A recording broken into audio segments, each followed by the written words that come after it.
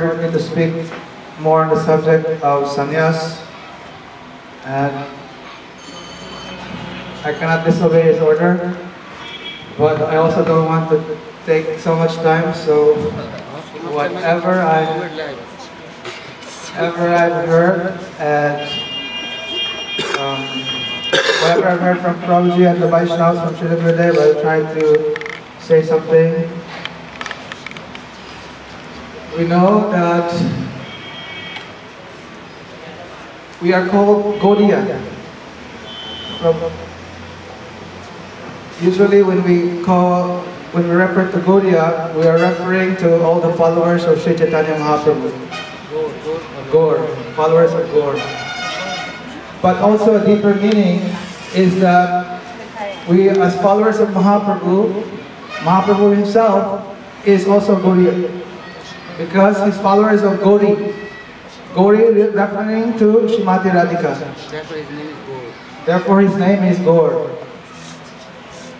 And we know that see Krishna, he is,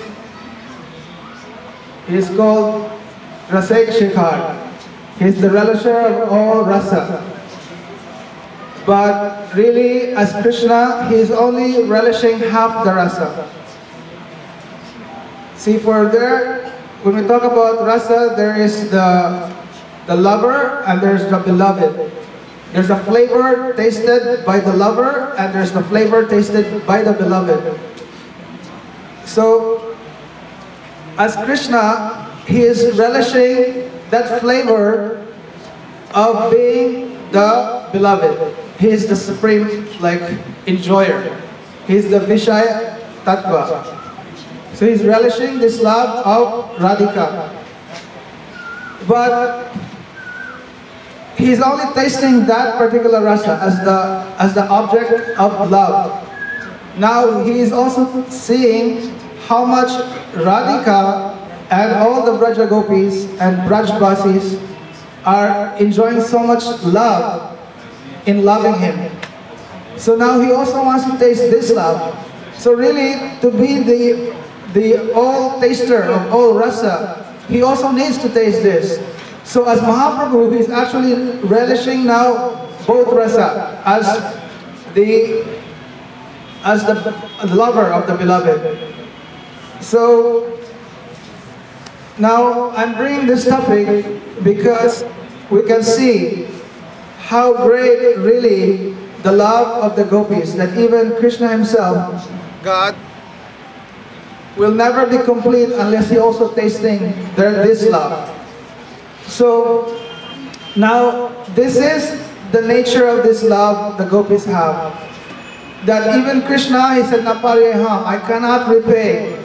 I cannot repay, um, he cannot re even reciprocate. In Bhagavad Gita is telling that according to some, to um, how much person is loving him, then he will reciprocate. But we can, we can see that uh, in, in Krishna Lila, he's telling the gopis that, oh, your love is so much, I cannot even reciprocate to this. So just be satisfied with, with this love.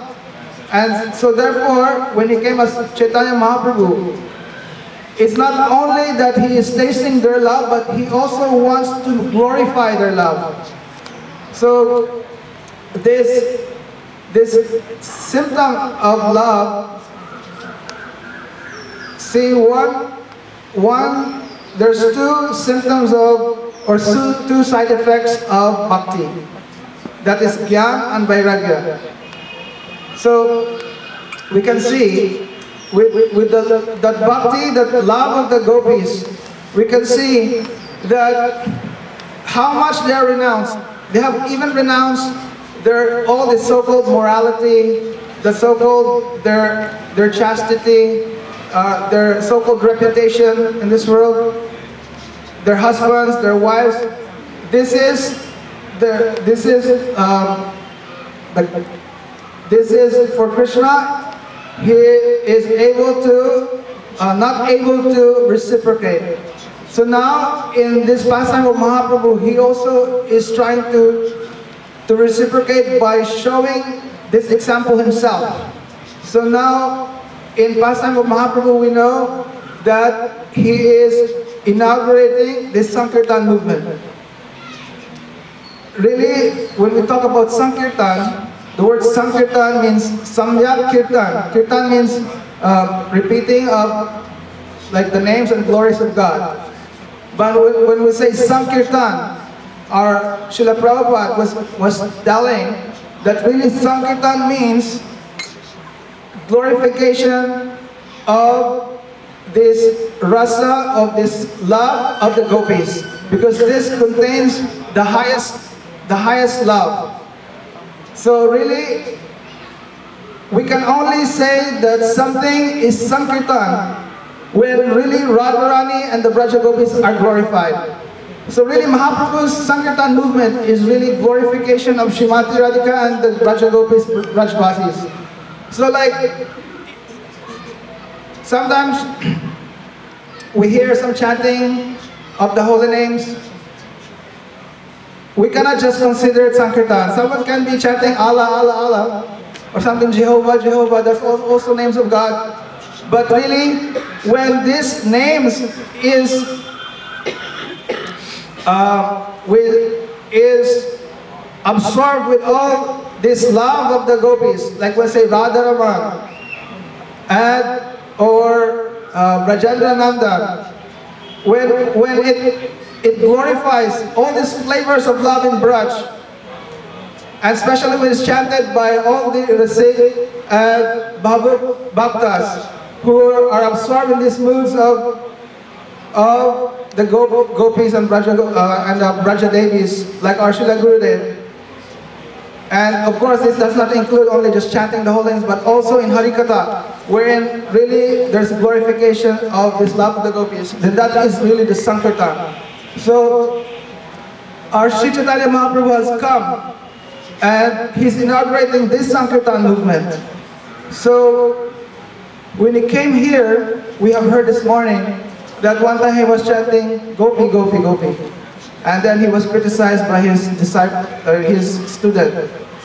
And so then he has seen that, like, oh, how can I, now this is the nature of Kali Yuga, they're always finding faults. So for me to be able to, um, to, to teach, then it is necessary that these people will also uh, first respect. There's, imp there's importance of uh, that they also respect. Otherwise, they will commit more aparad and what's, what is now uh, their, what is their chance now of being able to get his gift. So we know in this world that there are, there's the Varnashram and the highest in the ashrams is sannyasi, is the sannyas ashram. And anyone who is sannyasi, they'll always be respected. So, so then he's taking that role as a sannyasi. But we have to understand that Mahaprabhu's sannyas is not just taking this stage of the, the ashram, in the varnashram dharma. Really, what is this sannyas? And this is what any Gaudiya, like any followers of Mahaprabhu have to understand. We should, we should come to the point that we should also come, when we say Gaudiya, we should follow in the footsteps of Mahaprabhu. That is one, like Mahaprabhu, he has taken birth in Navadvip. Meaning, we also, if we're really followers, like any followers of Mahaprabhu, we have to take birth in Navadvip. What does that mean? It means that we have to, to take Diksha, that's real birth. We have to take Diksha in the family of Sri Chaitanya Mahaprabhu. And where is that? In Navadvip, where there is his Sankirtan movement was inaugurated. And specifically, where is that? In Yoga Pith, in Srivas Angan, where he's, he's inaugurating all this Sankirtan Lila.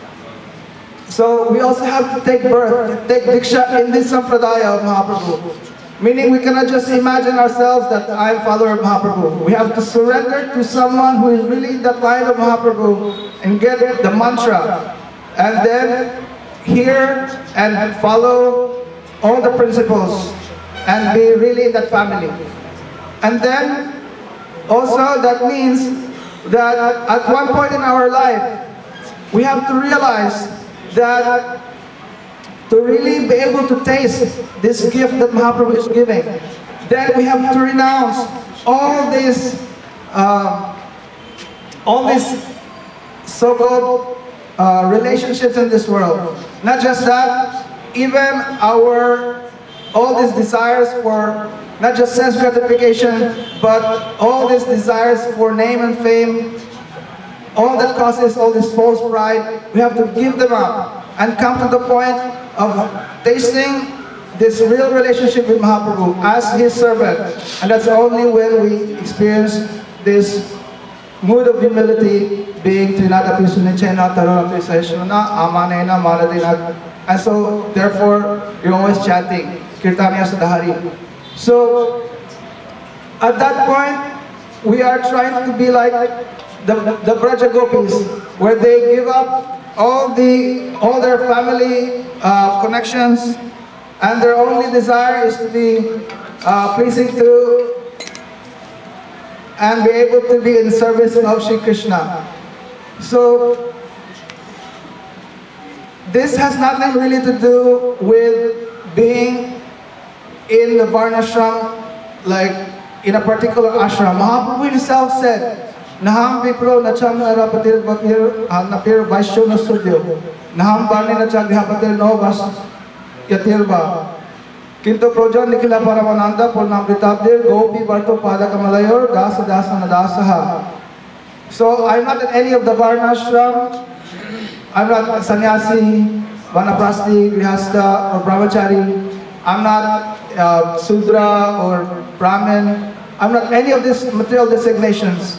What am I? I'm only Gopi Bharto Padakamalay Dasa Dasa Madasa. I'm only the servants of the servants of the maintainer of the gopis. So, see, this is real sannyas. That even this, that you renounce even these ideas or uh, all these material designations, even the idea of you taking sannyas. Sometimes people, when they take sannyas, then they become proud. And then they're, then they, because you know sannyas, that means, like for example, Mahaprabhu himself said that if I take sannyas, then people will respect me, and therefore they will listen to what I said. So sometimes now we have idea that, oh, like, I also want to take sannyas. But with the idea that, oh, now people will respect me. I get so many pranamis, and then I'll be world famous as a great preacher. But Mahaprabhu really this has to be renounced also. What really is sannyas is we have to, to take, to follow in the footsteps of the gopis. Where really their only life is this uh, pleasure for Sri Krishna. And even when Krishna has uh, separated or left them, the only way, the only reason that they're remaining alive is because they don't want that when Krishna comes back, Krishna will see that they're not there anymore, and then it will cause suffering to Krishna. Gurudev many times explained that, that like they could have left, they could have left their, they could already have uh, left their lives, you know, like uh, past, or they, they're dead. They could be dead already. But the only reason that they're keeping themselves like alive is because that they know that Krishna may come anytime. And what happens if they come and they're they're not there? And so it will give so much unhappiness for Sri Krishna. So their love is so high, and really even Krishna himself cannot fully, um, he will want to understand and be able to glorify this. So this time, Ashri Chaitanya Mahaprabhu, he has renounced even his being God as the supreme enjoyer. So he has come as a devotee. And he's and and now when he took sannyas, he went to Jagannath Puri. And there he's taking classes from Shrimati Radhika herself. But this time, Shrimati Radhika is disguised as also as a sannyasi, as Gadadhar Pandit in Tota Gopinath. And there he is learning how the gopis are loving Sri Krishna. We know in Krishna Lila, Srimati Radhika and the Brahmacha gopis, they cannot, it is the nature of love, that you cannot tell your, your, love, your beloved how much I love, like directly, how much I love you, or I love you. You cannot say that directly. But this time, in, in a disguise as a Harikatha, then Gadadhar Pandit is telling all the, the feelings of Shrimati Radhika and the Braja Gopis. And Sri Chaitanya Mahaprabhu, Krishna himself is there listening and is understanding, oh, this is how Radharani felt. This is what happened at that time. And oh, these are his mood, her moods at that time. So in this way, he's learning. And then later on, in the night, he goes back to Gambhira where he's staying and with Rai Ramananda and, and uh, Swarup Damodar, then he's trying to remember all these things and relish it through the songs and separation songs. Uh, uh, that's what Damodar and Rai Ramananda would sing in the night. So like this, uh, in this way, he is tasting uh, all these moods of Shrimati Radhika and the Braja Gopis. So like this, if some point in our lives, all those followers of Mahaprabhu, we have to understand that we should come also to this point where this Gopi Bhav, we pray that it will also come in our heart. And automatically, because of this love, auto automatically this, this mood of renunciation and, and and understanding real knowledge, it will automatically come. So like Gurudev always said that uh, you really don't have to, and this is also what happened to our Srila Raghunath Das Goswami. When, when he approached Sri Chaitanya Mahaprabhu first time, when he met him, him in, uh, in Shantipur, our Sri Chaitanya Mahaprabhu told him, uh, don't don't be like a, uh, don't do markat vairagya. Don't be a renunciate like a monkey. Monkeys, they're very renounced, you can see. They're naked and uh, they're living in trees. But then anytime they're looking, and if there's any particular chance, then they steal, and we, we see that in the market. So, like I said, don't be like that. Just, just go, go back to your house and Internally, you do your bhajan. Externally, you, you try to perform just like the regular uh, worldly activities. But internally, uh, you, you do your seva to Radha and Krishna. Because at some point in life, it will happen that automatically you will just renounce all these material things. You will renounce all this desire for yourself all these desires for sense gratification. Why? Because Gurudev explained it's just like passing stool. At, at, the time of the day when you really need to pass stool, no one has to tell you that, oh, go pass stool. You will have to pass stool. You don't have to think even that, should I pass stool or not. If you need to pass stool, you will have to pass stool. It's the same way, when this love really will come, and this open love will come automatically, your whole Consciousness will just be to please Sri Krishna. No one will have to tell you, no one will tell you like, oh, like renounce this thing, leave your parents, leave your so-called friends. This will happen automatically. And this is, when this stage comes, this is real sannyas. And therefore, our Sri Chaitanya Mahaprabhu has shown us that only when this thing comes, when your only desire is for the love for Sri Krishna, then this gift that is giving will really, uh, you'll be a, a recipient. And so, uh, sometimes we see that even devotees, like now we're in Mahaprabhu's place, so we pray that we can meditate on this Gaur Prem, this love of Sri Chaitanya Mahaprabhu or that they're distributing. Not that now there's a new philosophy uh, and they've even written it in a book, love yourself. Um, they're, they're telling like, if you cannot love yourself enough, then you cannot love, you cannot love Gurudev, you cannot love Krishna. But the nature is love is selfless. this is totally one, now we can count it as one of the new Apasiddhanta. And it's very unfortunate that in this book, even Srila Gurudeva's picture is there. And it's like by followers of Srila Gurudev. So they're saying like love yourself.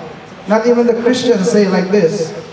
So, um, sorry for bringing the topic, but um, there, um, just following Prabhupada's instruction, I, forgive me if I've said many speculation, but like a little baby ordered by the parents and the elder brothers, just by speaking something, at least I hope they become pleased and hopefully by their mercy, by their blessings, I can also be a recipient of this Gopi mood that Mahaprabhu is distributing.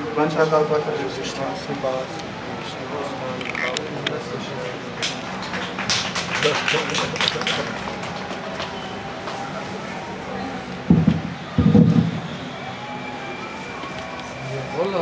क्या है सन्यासी का?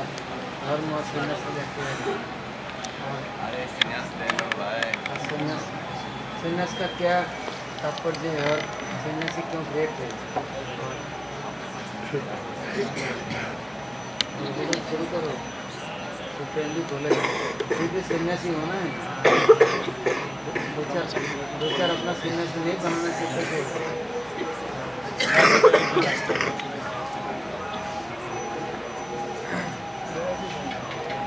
First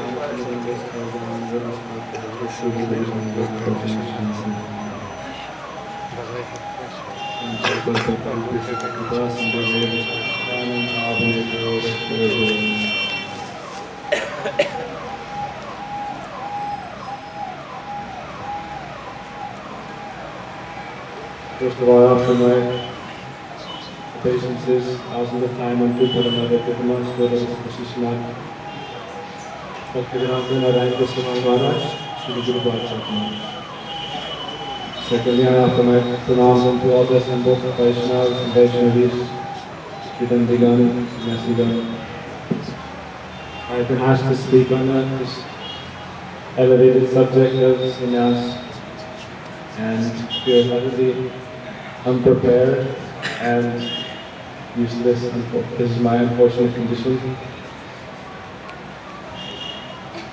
So we've heard very nicely from Krishna Kalinapu what is the understanding of sannyas in this Gaudiya Parampara.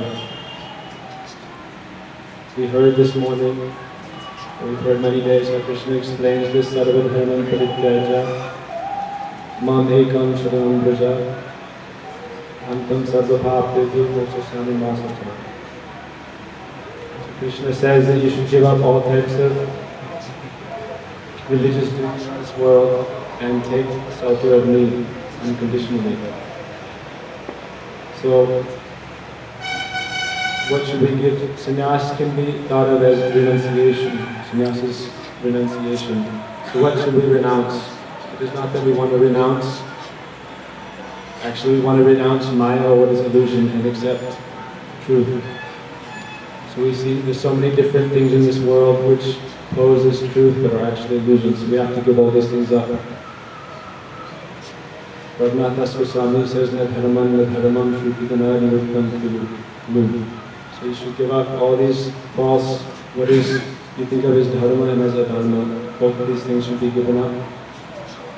Dharma in this world, dharma towards our parents, dharma towards society, our duties towards even the demigods, all these things are, if you give water to the base of the tree, then the tree is naturally nourished. So Krishna is the root of all existence, He is the prime cause, Anadi Adi Govinda. So by serving him, and this is naturally everything else, all other duties are fulfilled. So the jiva by nature is servant and he always has to serve. So that cannot be given up. We cannot give sannyas of our service tendency. But we should give up sannyas of, we should have renounced the tendency to serve Maya or illusions and embrace the tendency to serve Krishna. As one who turns his face away from the darkness will, if, if you're standing with your back to the sun, then you'll naturally be in the shadow of darkness. So you turn away from the shadow toward the sun, then you'll be in light. So we have to give up Maya, as renunciation, and accept service of Sri Krishna.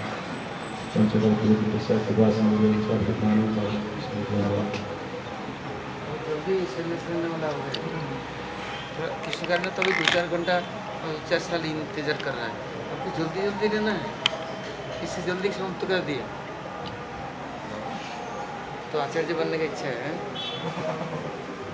प्रेम प्रेम बोलो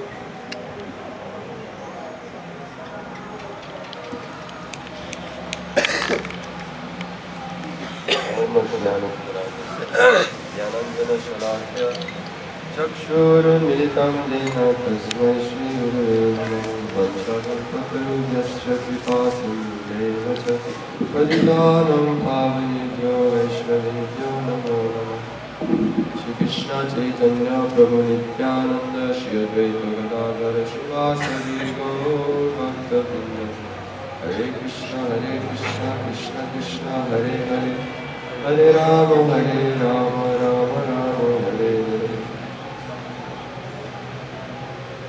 Prabhuji is asking what is the meaning of sannyas, uh, what is the greatness of sannyasi, How can take quickly sannyas?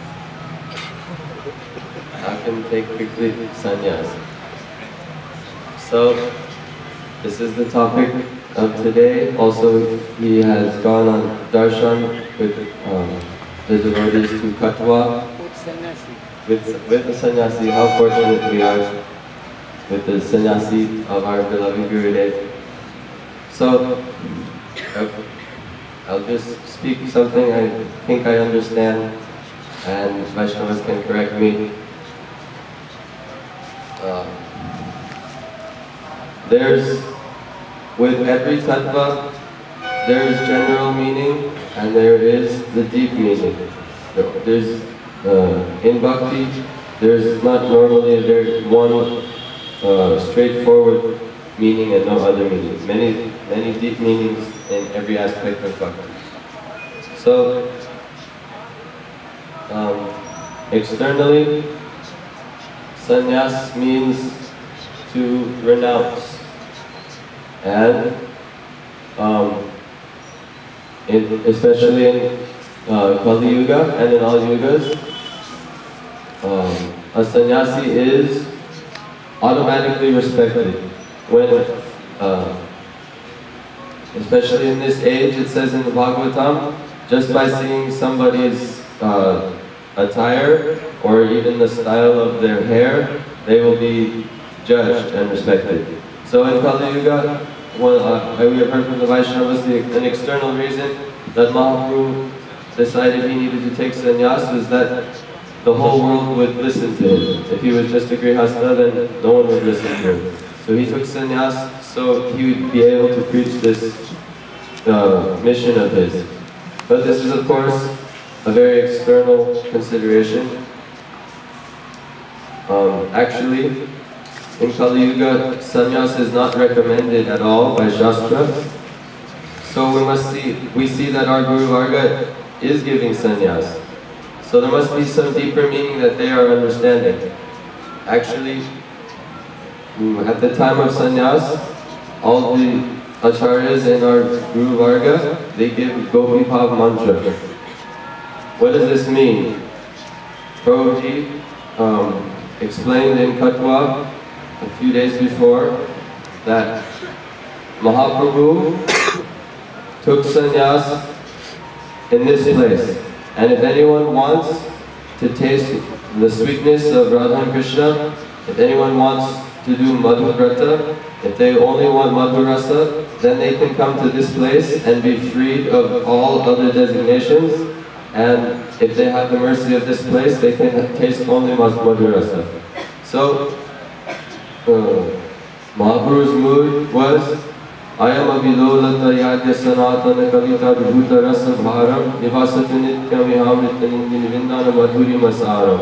he only was, now he was being completely one-pointed and fixed that I, I promise. now I am only after Mandarasa.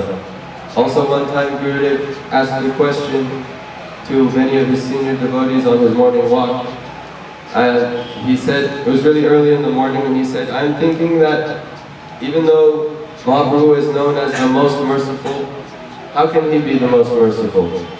What, look what he did. He left Vishnu Priya, his very young wife, and his mother. He left them, of course, all of Navadvip, but especially he left Vishnu Priya in such a condition. How can he be merciful at all?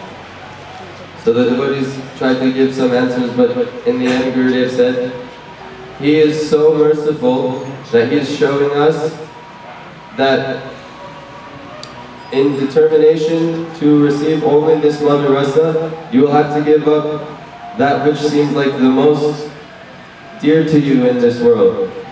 Anything of this world that um, we are so attached to will actually have no meaning um, and we won't be able to have any of these things eternally.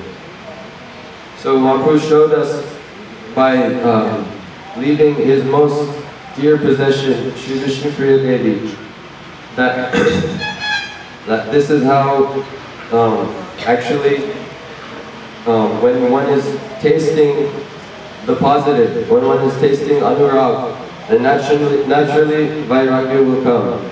This is uh, exemplified in the life of Srila Gaurkishore Das Babaji Maharaj. The Vaishnavas always explain this on, on the day of his disappearance in Kartik time. When one has Vishesh Anurag, then naturally all Vairagya will come. So we see that Prabhupada Saraswati Thakur, he was a sannyasi, but he wore very thick, large, expensive jacket. He drove in a motor car, which back then was like owning your own airplane.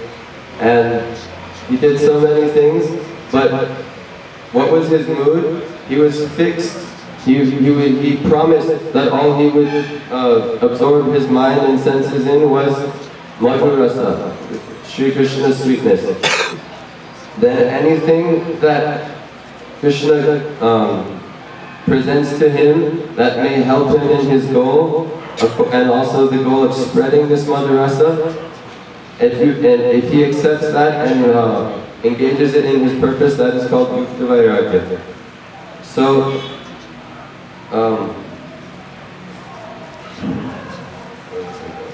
anyway, Prabhuji was uh, explaining that uh, in Katava we visit the place of Jagai and Madhai. Actually, we know that um, in, in their eternal um, position, they are Jai and Vijay. And somehow in the course of their sincere service, uh, it was of course a pastime and a lesson. They received a curse from young brahmanas, brahmacharya. So we have to be very careful, even in the course of sincere service. We must um, we must carry it out very carefully because um, we see what happened in this case. It was not even their fault. They were very nicely greeting the four Kumaras, but still somehow they um, got angry. And um, anyhow, Prabhuji continued that Jagai and Madhai were, after they were delivered by Nityananda and Mahaprabhu, they were doing bhajan in this place. But still they had some pain in their heart. Still they felt that they weren't able to absorb fully what Mahaprabhu wanted them to. And they brought this, this pain to Mahaprabhu and he said, um, Nirantara Kuru Vaishnava Sevan Nam Sankirtan. That Prabhuji explained that he, until they took many lifetimes, they took three lifetimes and they came even a fourth time this Jai and Vijay. Until they performed Vaishnava Seva and Nam Sankirtan, they were not able to get the uh, full relationship as they had before with Mahaprabhu. This is the greatness of um, the sweetness of Vaishnava Seva. So, um, mainly what I wanted to express was externally, sannyas means to renounce, but even uh, we've heard from the Vaishnavas that they, they're not so interested in only renunciation. Actually, what can we renounce? Everything belongs to Krishna. Everything belongs to Bhagavan. And some Vaishnavas even in, uh, absorbed in a very sweet mood, they say, the only thing I have is my Guru Maharaj and my God brothers. Why would I ever want to renounce them? So, well, one, one time Gurudev was telling one, one of his devotees, now it's time to take sannyas, but he was jokingly saying, no, all, all I have is you, why, why should I give you up, why should I take sannyas? So clearly we know that the Gurudev is trying to um, give some other hint when he's offering sannyas. It means this only that he wants to give this Gopi mantra and he wants to accept us into this um, this family. And if we really make a determined effort that all we want is the sweetness of Radha and Krishna and the service of the Brajavasis, then this is actual sannyas. The Mahaprabhu said, we have to follow the Brajavasis and we have no consideration for the way anyone else follows. The Vaishnavas say repeatedly that Mother Yashoda, she is actually a sannyasi. She doesn't shave her head and have a danda or anything, but she is she is completely absorbed in anurag for Krishna. And uh, the, of course, the Vraja Devis and Srimati Radhika, they are the best sannyasis. So, this is the deeper secret meaning behind sannyas, and I just trying to follow the order of the Vaishnavas. Please be merciful on me. One